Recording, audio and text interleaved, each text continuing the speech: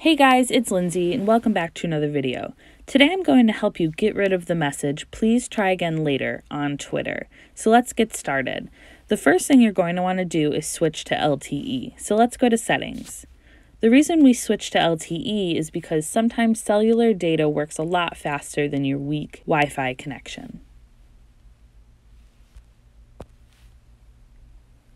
So we're going to choose the second option, Wi-Fi and then I'm just going to toggle Wi-Fi off.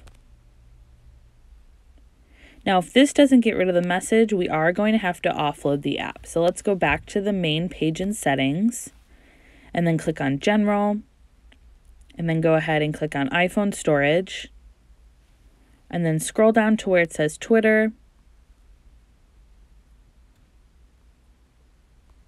Go ahead and click on Twitter and then click offload the app confirm it.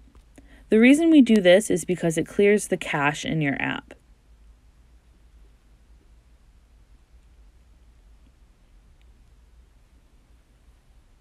All right, go ahead and reinstall the app. All right, and you have successfully offloaded the app. Now, if switching to LTE and offloading the app did not get rid of the message, I suggest that you go to Safari and search if Twitter is down. So I'm going to go to Safari and I'm just going to search our Twitter servers down question mark. And usually you can scroll down to a website services down that tells you if they're getting any reports of Twitter being down.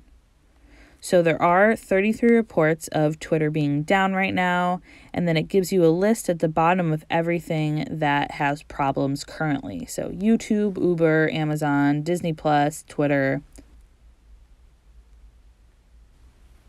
If the problem doesn't go away, that's most likely because the Twitter servers are down, and there's really nothing you can do if Twitter is down. So, I hope this video helped you. If it did, please like and subscribe. If you have any questions about this tutorial, please leave them in the comment section below.